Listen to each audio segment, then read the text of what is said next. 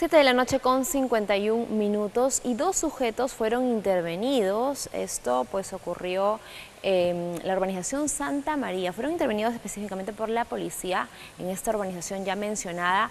Los hombres estaban portando un arma de fuego que estaba abastecida. Ellos eh, querían intentar, ya estaban a punto de intentar pues asaltos en esta zona.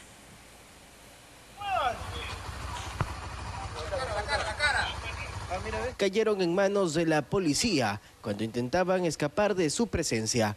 Dos sujetos fueron reducidos en la calle Cahuide de la urbanización Santa María, pues su actitud despertó las sospechas de las águilas negras y cuando los redujeron se dieron cuenta de que no se equivocaron.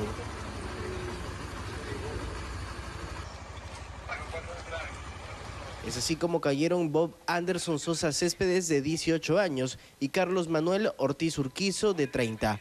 Ellos merodeaban la zona en posesión de un arma de fuego que fue incautada por la policía. Los vecinos captaron imágenes de la intervención y hasta fotografiaron sus rostros para advertir a la población, pues aseguran estar cansados de la delincuencia. Ambos sujetos fueron derivados a la comisaría de Ayacucho para que sean investigados por tenencia ilegal de arma de fuego.